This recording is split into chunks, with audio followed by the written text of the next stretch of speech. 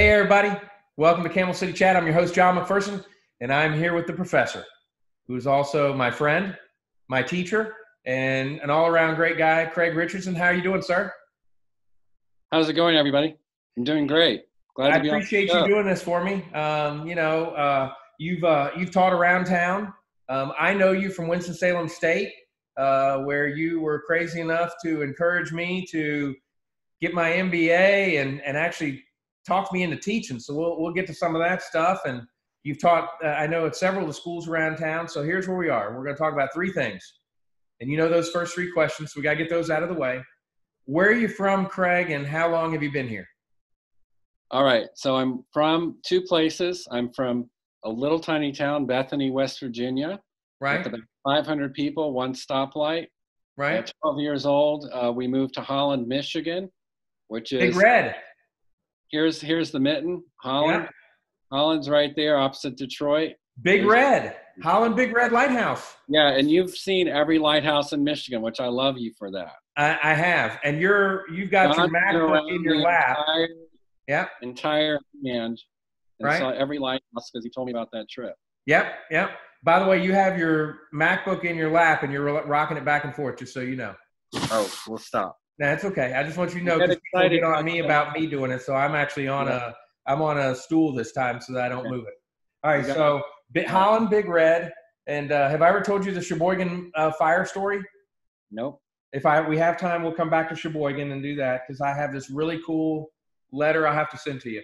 All right, favorite place to eat. Don't be political now on me. So where's I'm your favorite political. place to eat in Winston? All right, so uh, I was just at Fourth Street Filling Station, so I'll give them a shout out because first time in three months we've been out. Okay. Great time eating out there. Uh, but I will say my favorite place probably for committed food, Delucio's Italian restaurant on Brookstown. Right. Yeah. Yeah. And did you see? Um, we've lost a couple restaurants. I saw Mary's the other day. Yeah, but, um, 22 years. The Hive closed, which is right next to Delicio's. Oh, right. Right, yeah, they right, moved right. over to like um, the Burlington area. So. Yeah, I mean, it's just uh, you know, how long can you go without any revenue? Um, yeah. But yeah, De, Delucio's they they have a passionate chef there. Um, who I think gets up very early in the morning to make these sauces, and uh, it really shows. All right, yeah, that's definitely. I mean, I love. I've eaten there. I love it. All right, so what is your favorite thing to do in Winston? Because I know that you have something else that you love to do even more. But so, what's your favorite thing to do in Winston Salem? Well, with the city, I would say probably enjoying the downtown. Uh, yeah. My wife and I are big fans of Fourth Street, of going down and having dinner, running into people that we know, um, you know, uh, strolling through the parks, uh, and and sometimes getting some of those bicycles and and and going on the greenways now. The app out, just riding the bike. Yeah, yeah. We tried yeah. the other scooters and so forth. And uh, but we just like, yeah, we love going downtown. I'd say that's our favorite thing, running down down there, having. That's what we were doing before three months ago. But yeah, uh, we, like I said, we went downtown for the first time uh, tonight, and it was it was great. It was beautiful. You appreciate seeing some different faces, seeing the seeing the smiles, and um, and just getting outside and having some fresh air and some some food. I want to ask you about that because we have not gone out and sat in a restaurant yet. Of course, it's Thursday night. We're taping this. We're going to drop this tomorrow. The what is that? The 29th. Yeah. Um, and so people see it. But um, let, let's get into the interview a little bit. But you did mention one thing, and that that's Kathy. Um, your wife is a realtor as well. She works with LRB. She's freaking phenomenal. Yeah. Uh, I, I, told you I was going to tell you, you outpunted your coverage. She's a wonderful, wonderful lady. Um, but you guys have a, a, blended family. How many kids do you guys have? Well, we're like a real life Brady bunch. Three girls with me and two girls and a boy. So uh, yeah, think of the Brady bunch. We've got six six kids between us. You guys got great kids though. You yeah, really do. And we all went to Iceland together over right? Christmas. Okay. All all eight of us and all stayed in a house. That was kind of the first time we'd all been together in one place. Right. We had a fantastic time in Iceland. And I tell you, if you're uh, with people and they only have five hours of daylight and you come back still loving each other, it's a good test. I've seen a couple pictures of one of my friends that went over there with her brother, and I, I couldn't believe how beautiful it is. I'd love to go there because I, I um, one of my bucket list items is the uh, the aurora borealis, and Yeah. you can go over there and like sleep in one of those places and look up and have Yeah. the yeah. But um, Well, we did didn't get ice bar or anything, we didn't get to see those. It's it's a little harder than they make it out to be. Um, right? conditions all have to be right. The sun has to be doing its stuff, and the clouds have to be just right. So, but we, you know, what's interesting is the light is this bluish light that. Right. Uh, uh, it, it's just it's blue and black and white and and not a lot of else, but it makes everything look amazing. The mountains, the ocean. It looks like you're looking through a blue filter. Well, travel has been one of your things. Let's go ahead and jump over to that because I know that travel is is something that you love. Um, you've you've done research on Zimbabwe, but you've also through a, a, consulting uh, partnership with uh, Hanesbrands, you've done Vietnam, El Salvador, the Dominican Republic, Honduras. And let's go ahead and talk about one of your articles in the Wall Street Journal on Shanghai and negotiating for a freaking six or eight inch. I, I want my dang soldier. Um, tell us about that because you took uh, how many was there? Twenty total of us or fourteen of us? I can't remember. Another 14, I think. Yeah, so I, I love to take students abroad and, and, and uh, take people and, and hopefully get them infected with the same travel bug that I have for life. And uh, a lot of our students from WSSU had never been out of the country, and some had never been on an airplane before. And uh, so we, we treated him to a, what was it, a 13 hour flight over to straight, straight over to, uh, to Shanghai. Right. But uh, part of the exercise for this class was to learn about negotiation. And one of the things that we take for granted in the United States is we really don't have to negotiate very much. Yeah, we do for a car or, as you know, for a house, but we, we don't negotiate for laundry detergent or we don't negotiate for that candy bar. We just take it as a price. And one of the things that, that I wanted uh, students to understand in China was everything's a negotiation. And so what we did was there was a little little six inch statue called a terracotta warrior, a kneeling archer statue that everybody knows in China. It's the most famous little little warrior. Um, and and so what I did was I gave a photocopy of that warrior, and I set you all out into this market with thousands and thousands of people in all these little shops. They are all selling the same identical warrior. But what I didn't tell you guys was that the price was going to be different depending on how well you negotiated. And those tourists are going to get ripped off and pay 15 bucks. But I sent you all out in these different groups and I said, be smarter than that. You don't know any Chinese, but you do have a calculator. They have a calculator. Just keep figuring out how to do it. I remember you came back and you said, Oh, we got such a great price. We negotiated that. What was it like 65% or something, 70%? Yeah, we were last. Yeah, you came back first. You said we we're the best. Yeah. We come down seventy five percent. We're going to go have fun, and we are all going to meet in two hours later for dinner, and we reveal these prices one by one.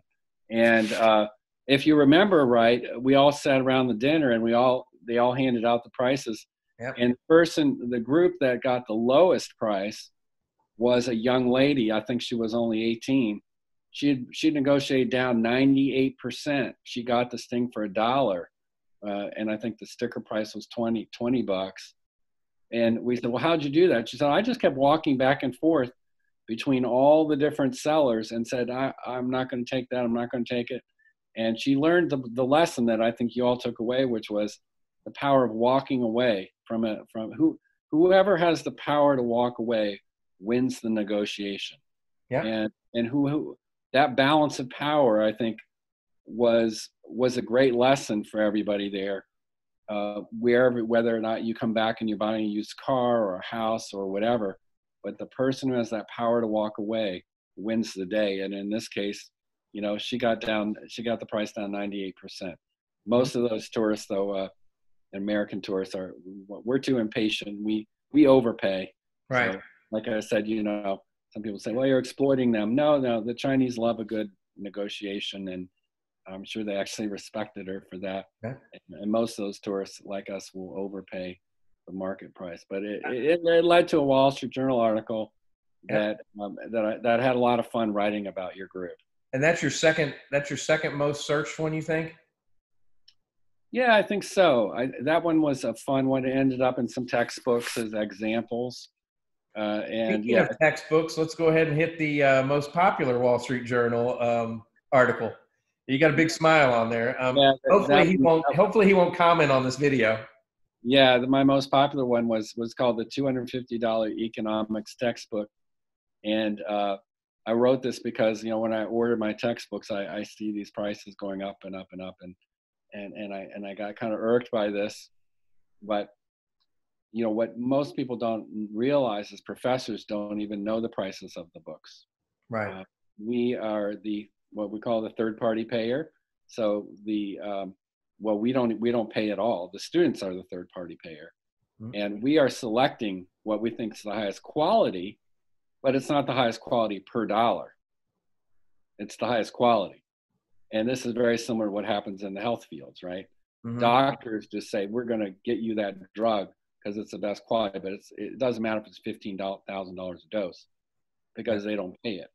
And so uh, I wrote a, a, an article about this, and I kind of picked on uh, one of the best-selling books by Greg Mankiw, as a Harvard professor, who got a million dollar advance for his textbook and charges about 250 bucks. And I said, why is it I paid 20 bucks when I was an undergraduate many years ago, but still, I said, you know, if you look at the minimum wage back then, that took me about oh about eight hours to afford that book, and today um, that might take uh, 50 to 60 hours of work to afford that same book, Yeah. and that's just one class. Um, so it was a you know it's kind of an example of what happens when people who are ordering the goods aren't paying for the goods. You're going to get a ratcheting up of prices that happens much more quickly than if if uh, the say was the professors had to buy these textbooks and it came out of our pay, we would have a very very different set of textbooks. That's true. And so that's just another you know lesson that uh, I caught on with the Wall Street Journal. I got I got a lot of uh, um, people writing me. Uh, uh, next door neighbor from Holland, Michigan, I had seen in 30 years.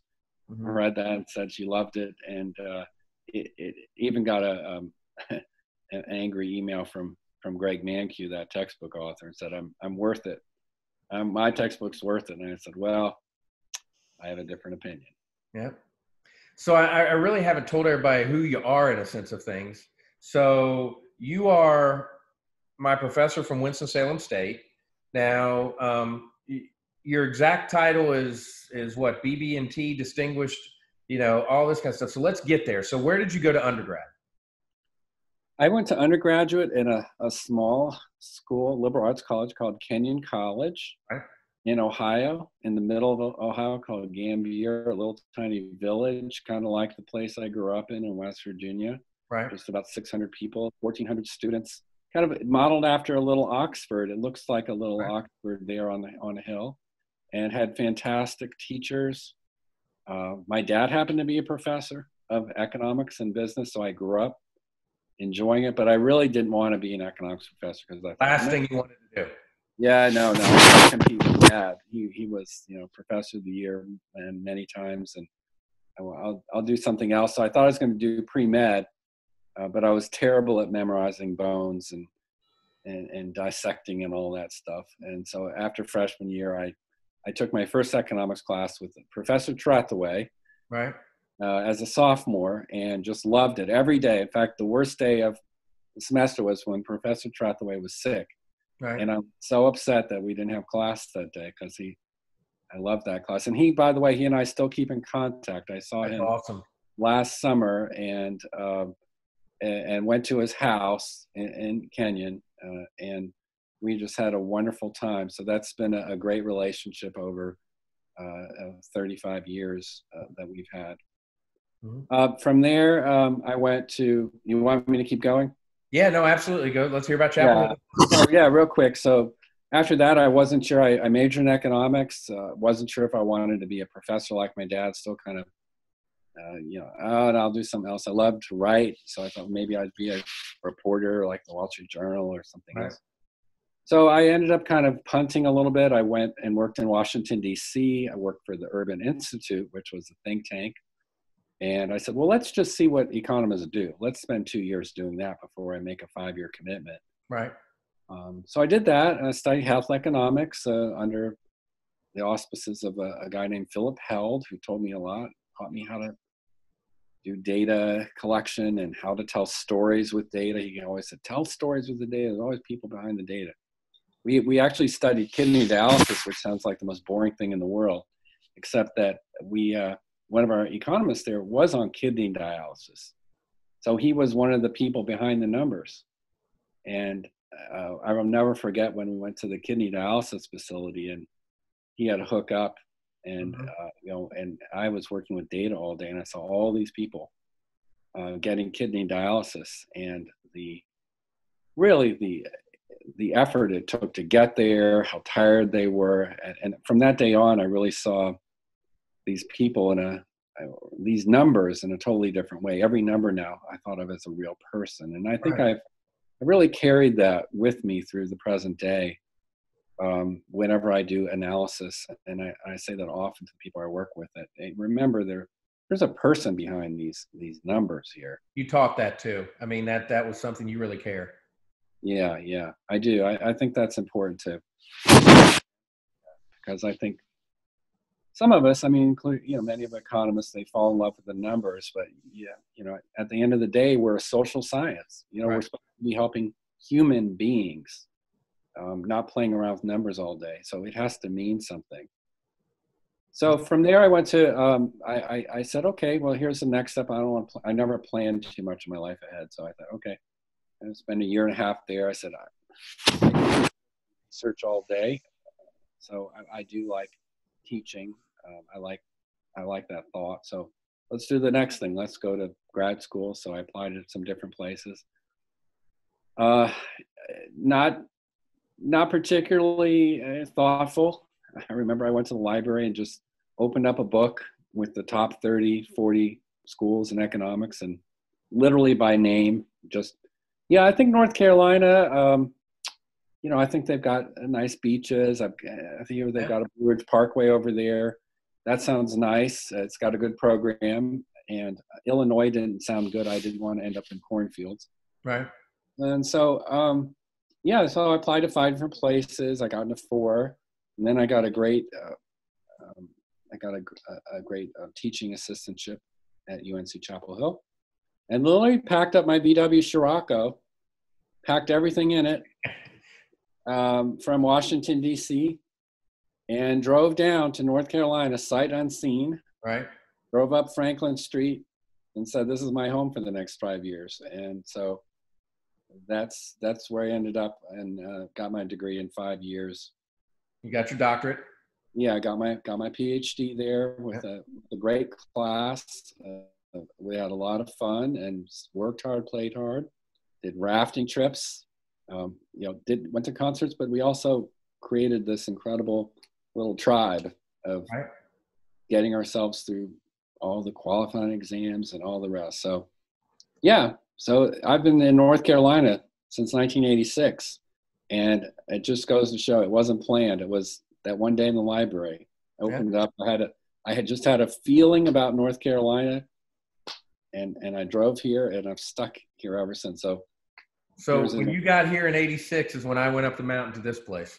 Mm-hmm. I just graduated in May, and I went up to uh, uh, for high from high school, and I went up to Appalachian. That's when I started my five years. And I forget what someone told me the other day is if you go five years undergraduate, it's, it's, um, it's like a bonus year or something. I can't remember what they said though. It's, uh, but they came up with something really funny the other night of, of how to explain it to somebody. But yeah, I mean, you, you, you're a great, you're a great teacher. Um, and oh, you know, you. I've, I've enjoyed all of our interactions. Of course, I've been to your home. We've, um, we've been to China together and, and had a great time. And, and, um, you know, you taught me a lot of things sometimes that, that I don't want to admit you taught me, but you've taught me some different things. And, um, but what I will say is, is the reason why I really wanted you on was because of all the economic things that are you're doing and, and you're seeing some of them at home with your bride and what she's doing in real estate. But, you know, you've taught, have you taught at every, so you've taught at Salem, mm-hmm. Wake, and Winston-Salem State, which is where you are now, right? Yeah, and High Point. And High Point, okay. Summer class there, but my really my career was um, really in two places. It's just been at Salem College, uh, for 17 years. Right. And and then I moved over to uh, Winston-Salem State in 2008. So uh, it's really, yeah, I, I've done some extra teaching gigs to make a little money, you know, for those three daughters. Right. We all have a lot of needs. So over the summer times or teaching an extra class, we got three kids in braces. Oh boy, they were all in two, three, three of them were in braces. That's not why you did it. You had to pay for that boat. I know you. No. You're the captain. You're the captain, buddy. All right. So, no, no. boat was cheap. So tell me about the Center for the Study of Economic Mobility, and then let's go into COVID and what's going on and what your thoughts are and what you're seeing at home with your wife who works in real estate and you know even at school too. So I mean that's that's what I really want to talk about the most here with with where we are in Forsyth County. Yeah, sure. Well, as you mentioned, I I love to travel and and so I've been here since um, 92 uh, in Winston Salem, and you know I'm always thinking about my le- next trip, John. You know, right. and Kathy and I love talking about our next trip. We've missed this during this COVID thing because we've had to cancel four trips in four months, um, including Zimbabwe. Oh, um, oh, so what I mean to say is I've always had the perspective of you learn, you learn, you learn by getting out of the fishbowl, so to speak. You know that old old saying about the old the old uh, grandpa fish and the young fish and the and the and the grandpa fish says how's the temperature of the water? And the young fish says what water? Mm-hmm. he doesn't even know he's in the water right? Right. Grandpa fish has been out of the water a few times. He understands he's in the water. Right. And so the the notion of traveling abroad has been to enrich myself but to bring circle around by doing that, I, I really did not understand very much about our own county, Forsyth County, after many, many years. Um, and what happened was about four or five years ago, I was reading a New York Times article, and they were ranking counties in the entire United States on what is the probability, if you're born poor, for getting up and out of poverty. And I thought, oh, that's interesting. First of all, I noticed the whole South is kind of red meaning you know it's the worst worst chance of getting out of poverty. And this is all about the American dream, right? This right. is a big deal. So I was like, okay, well, let's put in Forsyth County. And I put in Forsyth County into this big map, this database. And all of a sudden I put it in, I, I literally rocked back on my chair because Forsyth County is third from the bottom. And I, I, wait a second, you know, no, it's got to be Mississippi, Alabama, somewhere, not not Forsyth County. Yeah. So um, that very moment, that four or five years ago, suddenly I thought, we've got a big problem here that I I don't even know about. And I'm, you know, I go to school on the east side of Winston. I'm well aware of the differences on the east and the west side, but wow. Now this is not poverty per se, but it's the chance of getting out of poverty. In other words, envision a ladder that has a lot of the rungs broken at the bottom. It's very hard to move up. That's what we're that's what we're measuring. It's you're poor in Mississippi, you're poor in Louisiana, but, right. you might get out of poverty more easily. So I had an opportunity from the Thurgood Marshall College when they came and visited us on campus, and and they literally said to me, a few minutes after, a few mo- months after I'd seen this, was, "Pete, um, we're we're thinking about funding a center. Do you have any ideas?" And I said, Well, I tell you what, this is what's grabbed me lately. I don't understand this puzzle why our county is third from the bottom in the entire United States. I would love to have a center that looks at that question fundamentally from very different perspectives. Let's just examine that question. Let's turn it upside down. Let's figure this out. And they got a smile on their face like, hey, that's interesting. And it, for me, it was literally, it was kind of off the cuff conversation. But they said, why don't you write that up? So I wrote it up, wrote up a grant proposal, and uh, within a year we got three million bucks to fund our center. And we have a center called the Center for the Study of Economic Mobility. And what we do, I think, is pretty unique. We are only looking at Forsyth County. Uh, most economic centers kind of look at general problems across the United States or look at you know the particular state. We are laser focused on Forsyth County. And what, what the premise of this center, what we call CSEM, the Center for the Study of Economic Mobility, the premise is it's like that old story, you know, with the blind men who are all touching different parts of the elephant. They all, one touches the tail, one touches the foot, one touches the trunk. They all have a different story about the elephant. My premise here is that all of us in our departments, whether it's economics, psychology, geography, whatever, we're all like that, those blind men. And what we all have to do is get together and talk. What are our blind spots? What are we missing? What are our assumptions we're making?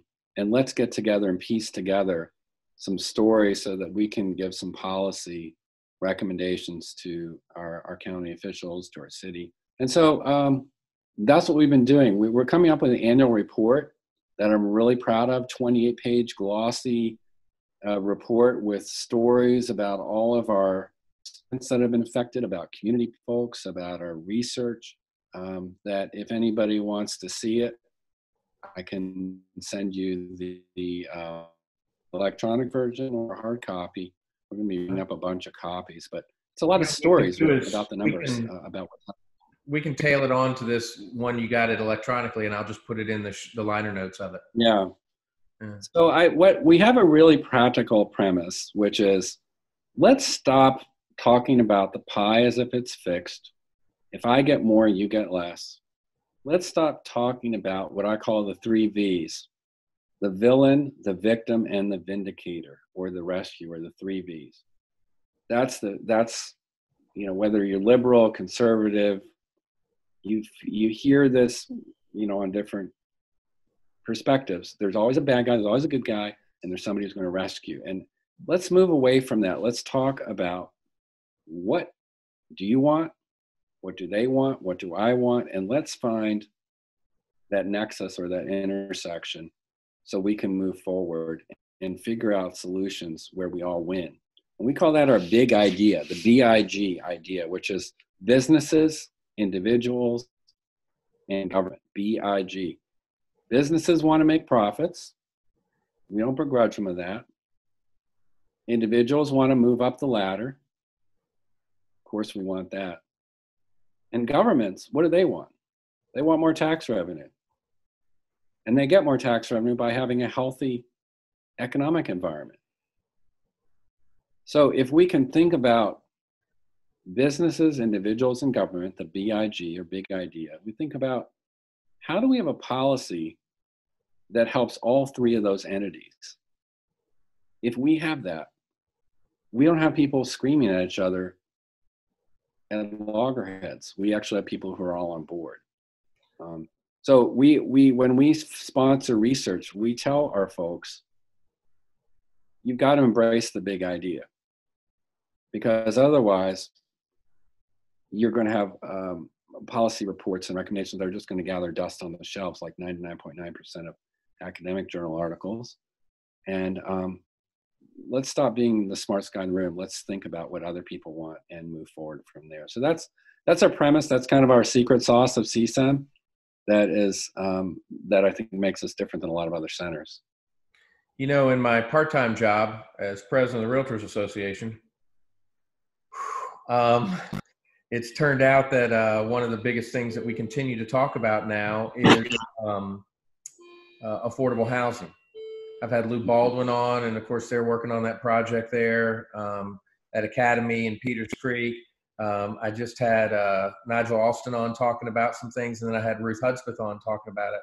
And you know, you're saying stuff. We've got to get the people in the room. But what I had said to Ruth last week is, you know, hey, if you're a contractor and you make 10%, you might only be able to make five, but you're still making money, you know. And if you're a government, you may not have 30 parking spaces and a freaking bike rack that doesn't need to be there. You might have 20 and no bike rack. Um, but all these things together is the people have to be in the room and work together because a lot of the regulations drive the prices up on the lots and things like that. So you got to get breaks if you're going to be doing that. And there are a lot of municipalities out in Seattle. They've gotten rid of single family uh, uh, permitting um, you know, how's Kathy's business been through through COVID? Well, it, you know, we thought at first it was gonna it was gonna crash pretty hard, um, but It's actually been remarkably consistent. Um, it's I, really weird, isn't it? Yeah. Yeah. I keep thinking that it's going to crash and uh, we don't have anything, but then you turn around and suddenly the books have got more houses on there again. Yeah. So, um, yeah, it's not it's not gangbusters strong, but it's it's been consistent, and we're thankful for that. Uh, you know, because she she's such a dynamic person in this field as you are. Mm-hmm. Um, and um, and by the way, I wanted to say a shout out to you because you were so fun to teach as a student. I, I just want to say first of all, my my big memory of you when I first met you was when we were in Shanghai. Uh, I, I thought this was great because we, we didn't have any way to contact our families. And I remember you you got the whole uh, at that time it was wireless set up through your phone. I have no clue what you're talking about. I didn't set up a VPN in my hotel room. Yeah, well, you know, you had a mobile hotspot, which at the time five years ago I barely knew what that meant. Yeah. And oh, hey, we've got the whole we got the whole hallway good to go. And I thought, hey, this is a good guy. He's, yeah, you were talking back with your family and everything like that. And yeah, you, you know, he's taking care of us. He, you know, I didn't. I think at the time you had to go downstairs or something, and you had it where we could do from the comfort of our hotel rooms. And I was like, we didn't even ask for this, and, and that, that's a great like that was my first impression of you. Thank and you. I'm sure that uh, that that carries through with with your business how how you operate. Well, we try to you, you try to have fun, and um, you try to take care of people too. So yeah, and um, no, thank you, thank you. That's a very nice compliment. Um, so you've embarrassed me now, and so we'll go. Uh, all right. So tell me about this. You went out to dinner tonight.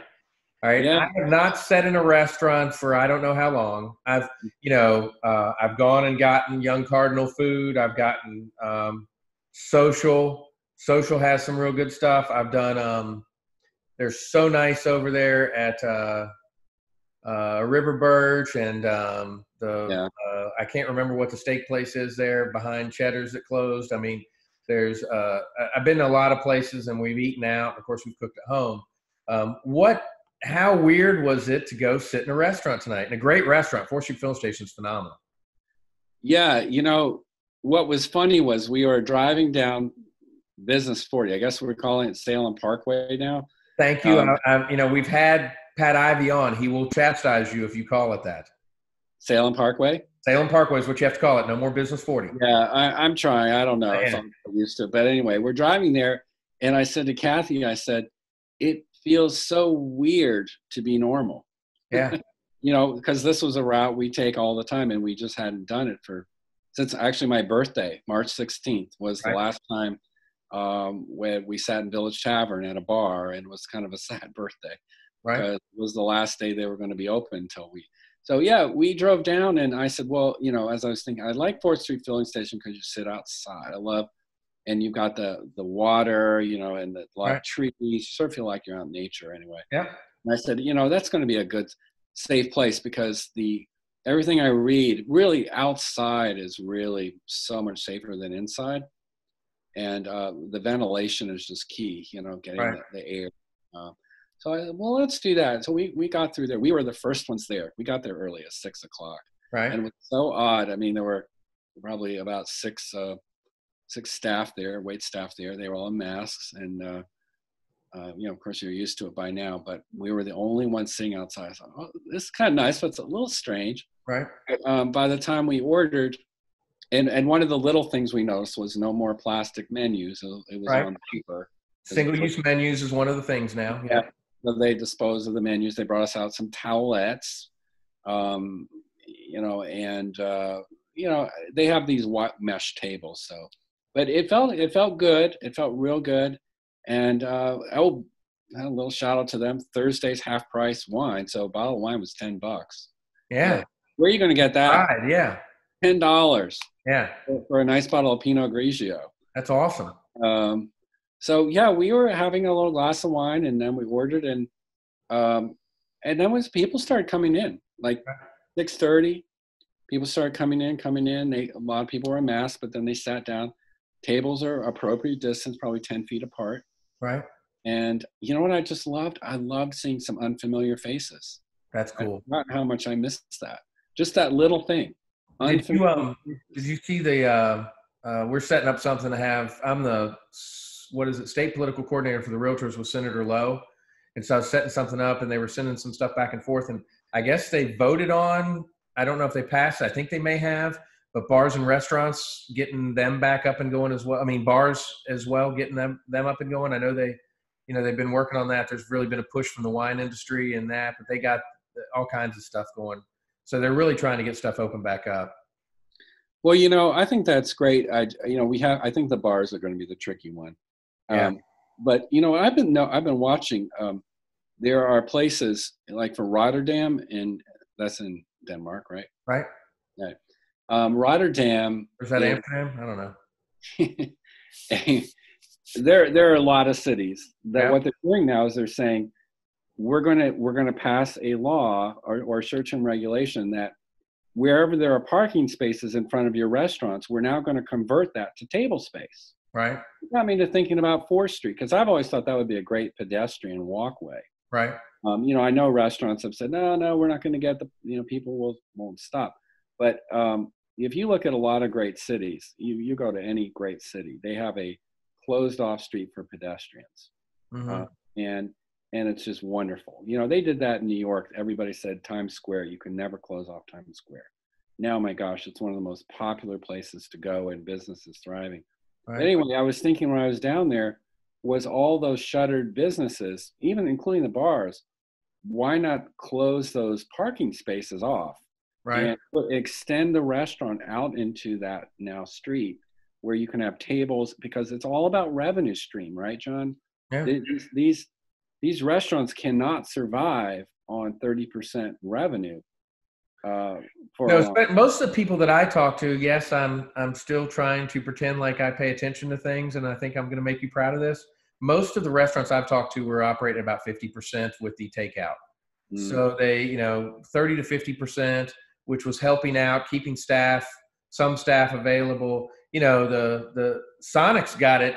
Nothing changed for Sonic um, you know, but Dairi-O out in Clemmons was amazing. I mean, they had two lanes and they were running people through it. Of course, Chick Fil A is doing some some neat things. But as for the sit down restaurants, that's you know that's that's the hard part is how do yeah. you keep that going? Exactly, and and the sit down, the more overhead they have, of course, the the the higher the fixed costs. Where they have an expensive dining room, they have granite uh, bars. They've got a lot of overhead to pay right. for and, and they're, they're going to um, have a hard time unless they increase that revenue streams and that's my concern you know i think two to three months is about any what i think most businesses can sustain this right. way at the same time we want to be healthy i'm just trying to think of creative ways if it's healthier to be outside maybe the city can relax a little bit and allow this at least for the short term I, will tell you, we got very lucky. Um, our relationship with the state, the the uh, cities, um, you know, with the mayor and and you know council persons and um, our uh, the realtors, we were kept essential.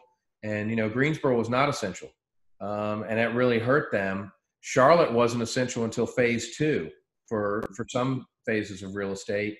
Uh, but um, you know, so I, I have a soft spot in as businesses start to open up. We've really got to, you know, you're twenty percent is the minimum on a tip nowadays. Yeah, you know, you really, you know, I, I keep getting the alert from my Capital One card that says, "Did you mean to do like a thirty percent tip or something like that?" I mean, you've got to support oh, these wow. people um, yeah. that are helping. You know, I mean, you know, it's a it's a ten dollar thing, and you're giving, you know, what uh, twenty dollars or fifteen dollars. You know, you have to support people because um, you know we're all in this together and i know people hate hearing we're all in this together but we really are um, but the thing that i'm concerned about is is as this is starting to come back and you know you're the you're the economist here so you know is this going to happen what's that football oh college or pro yeah, no, this is the last place that is going to open up. Stadiums. Yeah. Um, yeah, they're going to be the last places to open up. Hot, sweaty basketball stadiums. Yeah. Um, you know, and, and you, Miami's doing something of like they were thinking about even doing like uh, 20% of their stadium or 30% of their stadium capacity and just yeah. having it rotate among fans and things like that. So I mean, are we going to have sports back? You heard that Appalachian um, uh, had uh, men's soccer, uh, out indoor track, um, and uh, something else. Uh, they got rid of those sports. You know, had to say, hey, we can't do that anymore. Um, how is COVID going to affect us now as an economist? You, you, you give me the economic outlook, I guess, is what I want. Yeah, well, it's a big question. We're still. I told you I was going to ask you. I know this is not yeah. one you probably want to answer, but no, no. I mean, it it really. So here's what I think is it, there are some things that are just going to fundamentally change. It's before and after. Um, I, I think we're we're going to look at sanitation practices differently forever. Um, if anybody you know has ever been to Japan, they know the Japanese are so fastidious about cleanliness Right. You know, the guys who put you in the uh, they you know they they look at the train stations. They wear white gloves. They, you right. know, there's a fastidiousness about that that place. I haven't been there, but I, I know of it. And they've also had extremely low COVID deaths. Um, I think people are going to feel vulnerable to getting sick in a way that they haven't before. Right. And and that's going to reshape a lot of things that we've taken for granted. So it's it's terrible in a way. I mean, that's the worst thing about this illness is we look at strangers now as threats, right?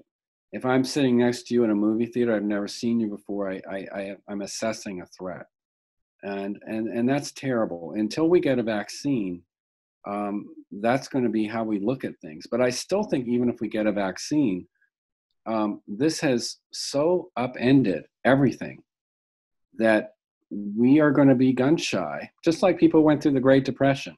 Mm-hmm. You know, they they went through the Great Depression, they lost all their savings. Well, they they save until they're 80 years old. They save every penny, right? They, they they just it just reshapes you until you get to another generation um, who hasn't lived through it.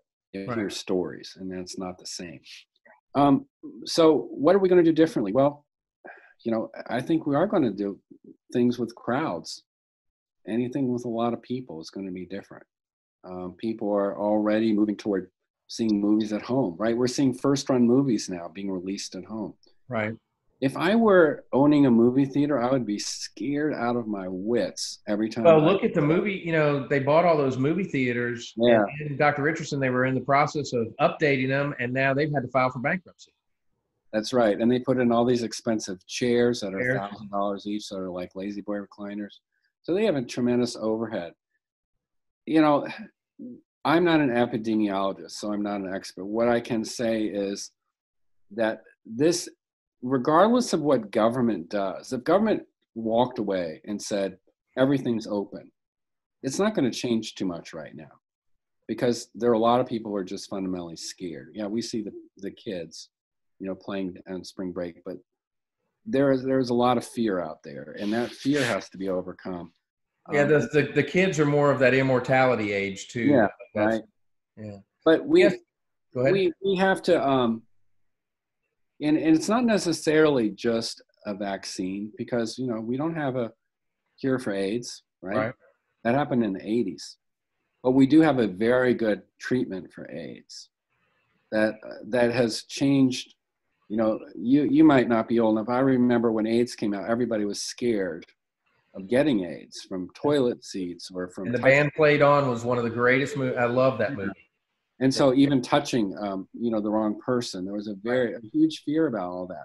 Well, AIDS is still here. It's still in our society, right? 30, 40 years later, it's still here, but we're not thinking the same way about it because there's a treatment that really knocks it down to where it's negligible. Yeah, I've got a friend of mine that has it and is living almost a normal life. Right. So we don't necessarily need a cure, but what we need is a treatment that that knocks it down to the level of a flu or less. Right. Okay. If we get down to level of a flu, where okay, I got COVID, I take a three to four day treatment, I'm going to be down for three to four days. I can live with that, and I can also go sit next to somebody at a basketball stadium if that is the biggest risk that I face. Right. Right now, I'm facing a bigger risk. Um, I'm looking at you know lungs being destroyed, whatever. If I get it real bad, Um, so yeah, to answer your question, I think what I know about it, and again, I'm learning as I go. The worst places to be are places where there is shouting. There's a lot of exhaling of breath. That means churches singing. You're talking the difference. The way we're talking right now, we're, we're every time we talk, that's about 100 droplets are coming out of our mouth. Right. We're infected. You need about a thousand to get sick. So if you and I were talking, it's 50 to 100 coming out of our mouths right now. Right. It's maybe five to 10 minutes if we were right next to each other. Right. By comparison, if you're singing, it could be 30,000 droplets, okay, every minute. Right. Um, if you sneeze, it's 300,000. So inside a stadium where you have people screaming at the top of their lungs, everybody's touching rails, everybody's touching seats. This is just a hotbed for for spreading it. And and so until we get a treatment, I'm afraid for the sports fans out there, um, that environment of experiencing it, unfortunately, is going to be a ways away. Uh, you know. All right. Well, we got about 10 minutes. I got to ask you the final three questions. But before we do that, I want to ask you something that's near and dear to our heart, and that is travel. I want to hear what your thoughts are just in a minute or two of, of what's airline travel going to be like, Greg? Well, you know, I think I'm ready to get on a plane myself. I think it would be okay right now. I think mask up with a mask. Yeah. Now I might want to buy the middle seat. Uh, right. Uh, there's a joke about who's going to pay for the middle seat. The other guy's the free rider, but um, I, you know, airlines are, are, boy, are they looking at utter devastation. They're, they're the number of rides that they've had uh, is down like 95%. So this is not sustainable. But, you know, I think airlines are going to start coming back because they they have a lot at stake here. They have billions of dollars at stake, and um, they're they're going to lump back. It's going to be about a year before they get up to speed what looks like a normal path. But I'm ready to travel. I really am. Um, I've got the itch again. I want to go places. Um, I'm supposed to be going to Zimbabwe in two weeks, but if I went there, I'd have to be 21 days in quarantine in, in an airport with no yeah. water. So. And then the same, and then if you could get home. Yeah, right. So even my friend from Zimbabwe can't even get it in the country. He's in England. So. Wow. Yeah. So it's going to be tough. All right. I got three questions for you before we let you go. Where have we been in Winston Salem? What's a, what's a memory of Winston Salem since you got here in in '92? That you know, where have we been uh, that that you can think of? Because I always talk about how you know when I was growing up here downtown, there was like two places. That, I mean, Rainbow News was the only place you could get. It was gone at three three o'clock in the afternoon. Everybody was out of town. So that was a cool place. Yeah. What's what's a memory for you there for where we've been? Where we've been? Where you and I, or just me? Just you.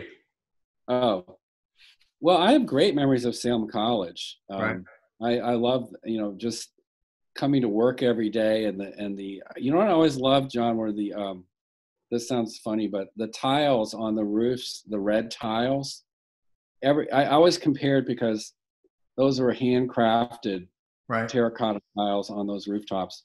And if you look at them, every single one is unique. Um, right. It's weathered in a different way. It's got a different color and compared to a, a standard typical roof. And I, I, and the same thing with the bricks. You know, when you walk and you pay attention to the bricks on that road in Old Salem, all handcrafted bricks. Right. Um, so yeah, I, I, loved I loved those little details of the old ways of doing things that right. created a lot more texture in those lives than than we have today. Craftsmanship. Um, yeah, the craftsmanship uh, yeah. built a you know, when you built a tile back then, you built it for 200 years, not for a 30 year roof, you know? Right. what about, uh, um, what do you want to be remembered for? Uh, I think I want to be remembered uh, as um, a guy who cared about other people, um, you know, who uh, wanted to have some impact on people's lives and create some ripples, you know, like, you know, help this person who then felt good about that and then they wanted to go out and help another person so that i'm like that little pebble that gets tossed in a, in a pond and some good ripples get spread out. So whether that's through getting people excited about a concept in economics or um, you know i hope i'm a good dad for my three daughters and that they go out to i think they're all great people i'm so proud of them. They're mm-hmm. kind. And so yeah being i think being remembered for um, a guy who cared about other people is, right. is a good one for me all right i will tell you that i um uh, you encouraged me to teach i taught two semesters i still talk to some of my students um, I just gave one of them a reference for a job. Um, and you know, I try to. I'll see them on Facebook, and I'm like, "What are you doing? Why are you doing that? Get get get it straight." You know, that type of thing. And it's because of of of you encouraging me to teach.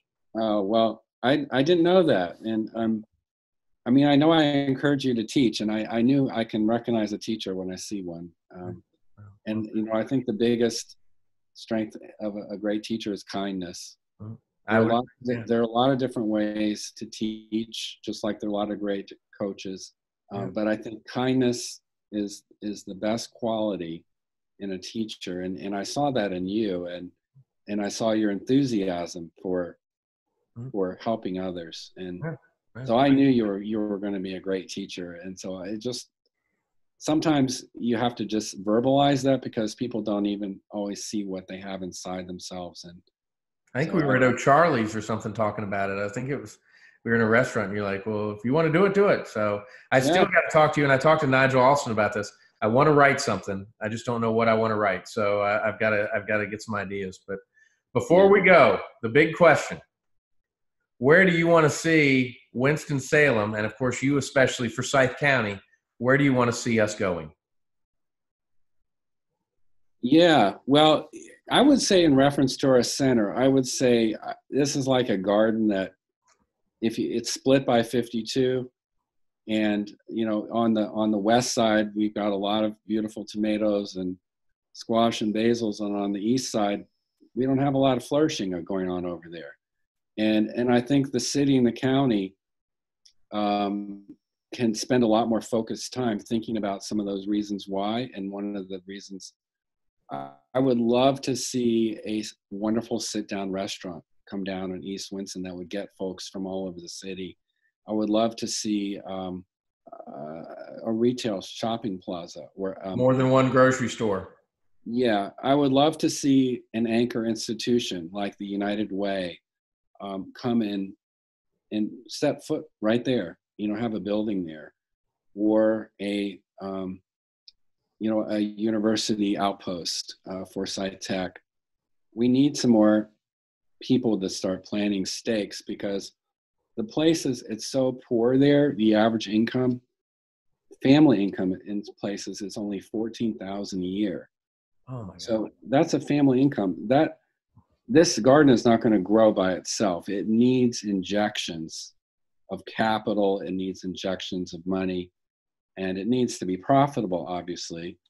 But the city, I think, and the county, I would love to see them really saying, how can we have the east side share in the same bounty as the west? Let's let's be just as focused on the east as the west. And that's what I would like. When if I came back in 10 years, I'd like to see Martin Luther King um, look as nice as Fourth Street does now.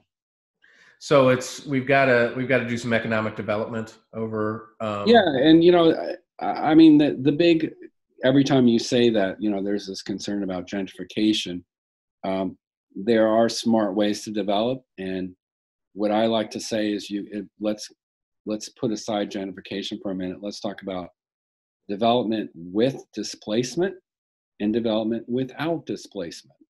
Right. And and you can have development without displacement by bringing the stakeholders who are living there being part of that decision right. and making sure you're not pushing people out who live there um, and there, there are lots of you know there are lots of blueprints for how to do that so that we what we're doing is we're we're lifting people up and we have way too many people renting too right. so what happens is they're not they're not sharing in the wealth when property values go up and right. and so we've got way too many people renting and not enough people owning, and that's happened since the 2008 financial collapse. So when you have a lot more owners, they're going to be vested in development, and they're going to also see uh, their wealth increase. So that's been my focus for the last three years. I'd love to see some positive things come out of that. Well, we got to get everybody to the table. So let let me know how we can help. Um, and Will do. I'd love to help you however I can. Um, and uh, if you will get me that report, we'll obviously we'll put it in the show show liner notes here so that people can look at it another time. And then, um, but I, I just I can't thank you enough for being on tonight. Um, and I had uh, a lot of fun. I'd come back anytime you want. all right, perfect. Well, let me know if there's anything I can do for you. Tell your wife I said hey, and thank you for everybody watching uh, Camel City Chat. Of course, you can listen to us on Spotify, on Apple. We also have a YouTube channel. We'll post it on Facebook and things like that. My guest uh, was uh, Dr. Craig Richardson, who is uh, just a great, all-around, awesome guy. He's an economics professor at uh, Winston-Salem State and world-renowned, renowned author, everything. So I I think so. I appreciate you being here. We'll be back next week with more Camel City Chat. Thanks, John.